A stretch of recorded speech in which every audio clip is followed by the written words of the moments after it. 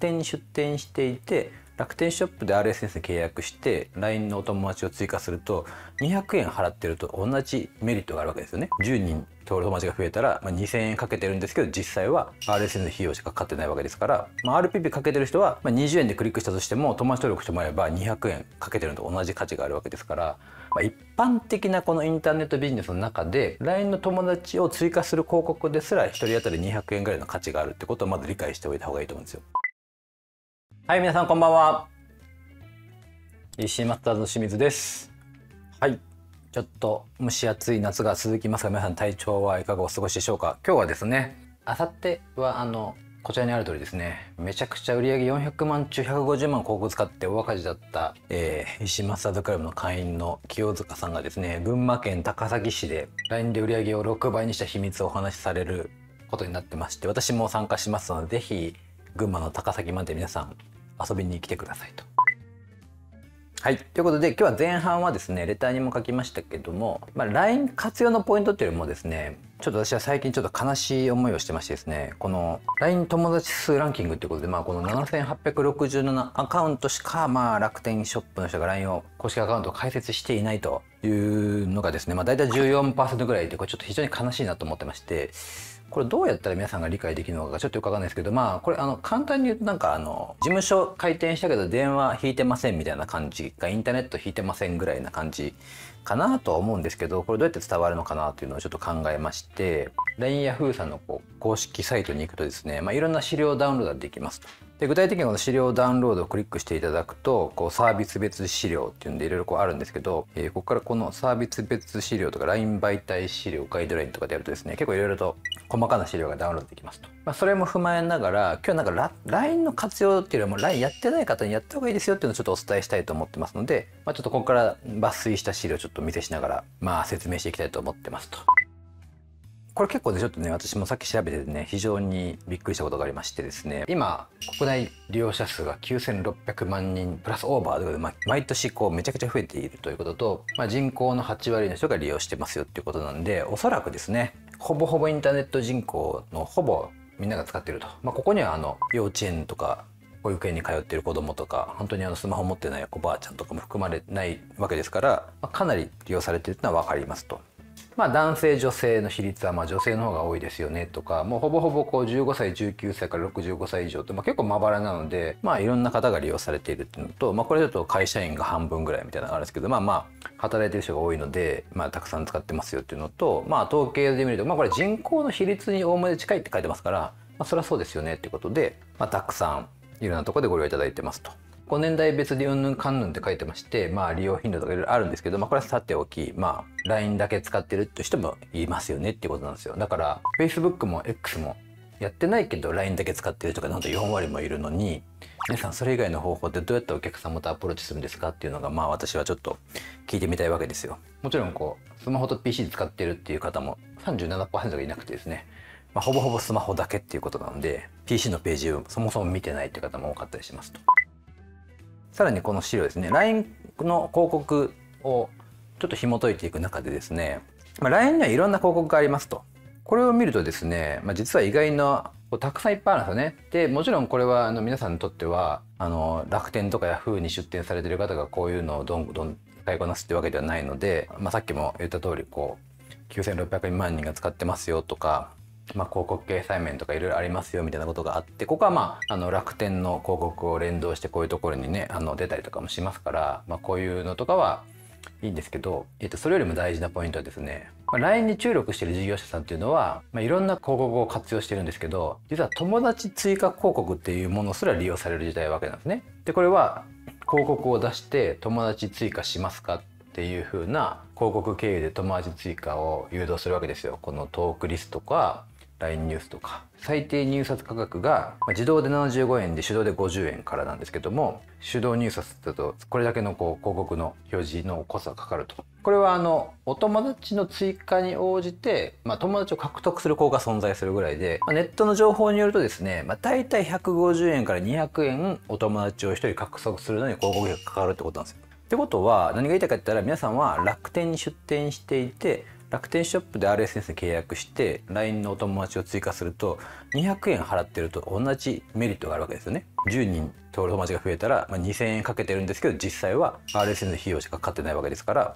かからないと、まあ、RPP かけてる人はまあ、20円でクリックしたとしても友達登録してもらえば200円かけてるのと同じ価値があるわけですから、これをずっとこう長い間やらずして、まあ、こういう広告を使うことはないと思うんですけど皆さんにとっては、まあ、一般的なこのインターネットビジネスの中で LINE の友達を追加する広告ですら1人当たり200円ぐらいの価値があるってことをまず理解しておいた方がいいと思うんですよ。その上でじゃあ楽天で LINE をやらないんですかって言われたらなんでって話になってきますよね。これを今日お伝えしたかったんですね。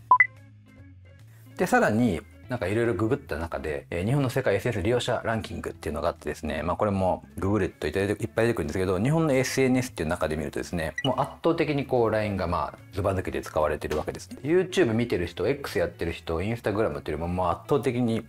えー、LINE ですと。まあ、年代別にもまあこうどんどんどん若い子たちが使っていると。で確かですねこれよりもちょっと面白かったのがですねこのサイバーエージェントさんの、えー、次世代生活研究所の Z 世代の SNS 利用率なんですけど、まあ、残念ながらこの調査目的の中にはですね対象には LINE は含まれてませんと。もう LINE はやってて当然なんで調査する気ないと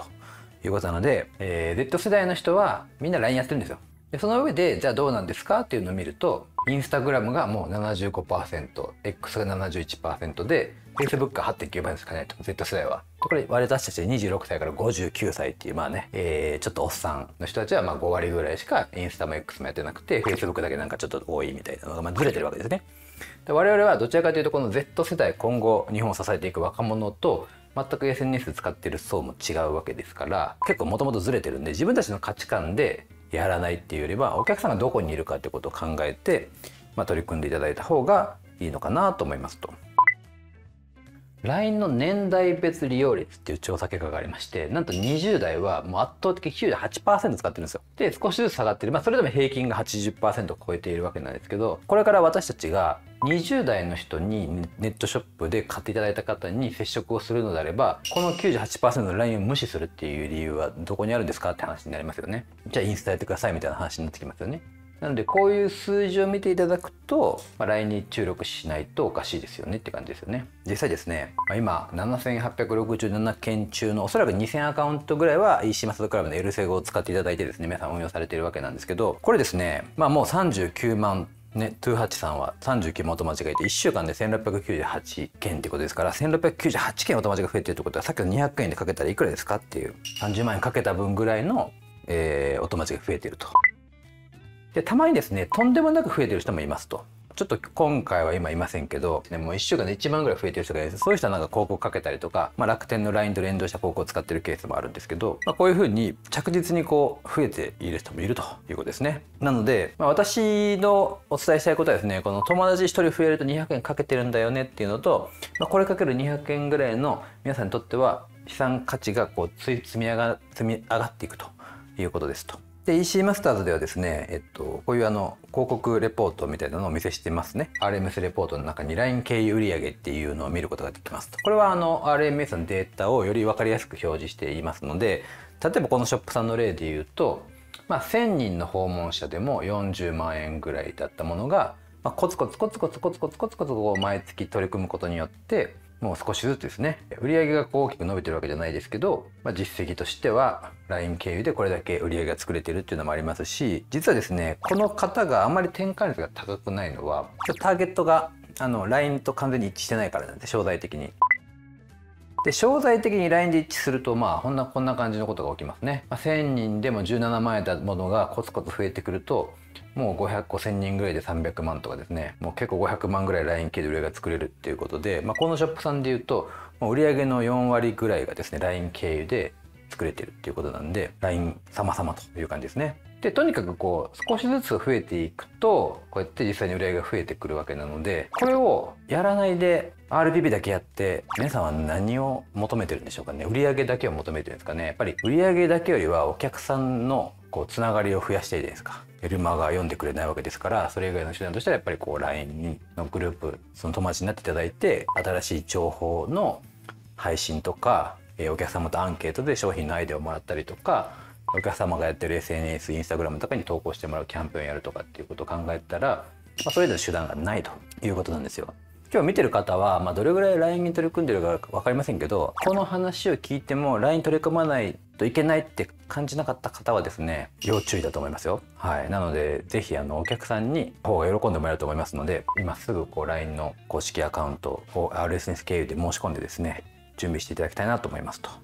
で、えー、皆さんね RMS にログインされてる方はこの、えー、メール SNS から LINE 公式アカウント RSNS ってクリックしていただければですね楽天経由で LINE の公式アカウント開設してくれますし Yahoo でも同じようにできますし今度 auPay マーケットさんも LINE 公式アカウント始めるというおっしゃったんで、えー、まあ皆さんはこう公式サイト楽天サイト Yahoo サイト、えー、auPay マーケット用って、まあ、4つ作らなきゃいけないですよね。そうするとまあ L セグ使っていただいた方がより効率的に管理できるかなというのもご理解いただけるんじゃないかなと思いますので是非お客様のためめにも9600万人の LINE の方のためにも皆さんが LINE を運営していただかないとお客様がかわいそうだと